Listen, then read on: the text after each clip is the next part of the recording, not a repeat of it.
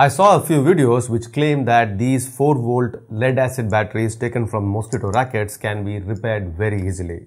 All we need to do is open this top part and it will reveal two small rubber caps. If you remove those rubber caps, you will see two small holes. Now they say take a tablespoon of regular table salt, mix it in water and refill this solution using a syringe into the battery through these holes.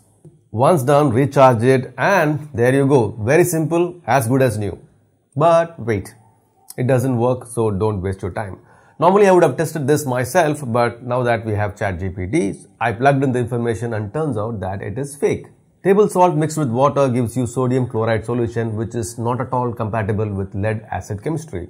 Chlorides, they corrode the lead plates faster and that bubbling sound you hear, the battery getting recovered, that is actually electrolysis and it is producing chlorine and hydrogen gas. After recharging, if you connect the voltmeter to check the voltage reading, it might show some reading on it. Sure, the battery might show some voltage afterward, but that is just surface charge and it will not hold for long.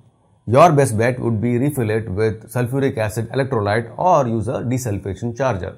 There are additives like desulfation additives for lead acid batteries, but even that won't help if the battery is too far gone. Honestly, these fixes cost more than the battery itself, so you can discard this battery safely, get a new one and don't waste your time. And if I've saved your time by making this video, please hit that like button, will you?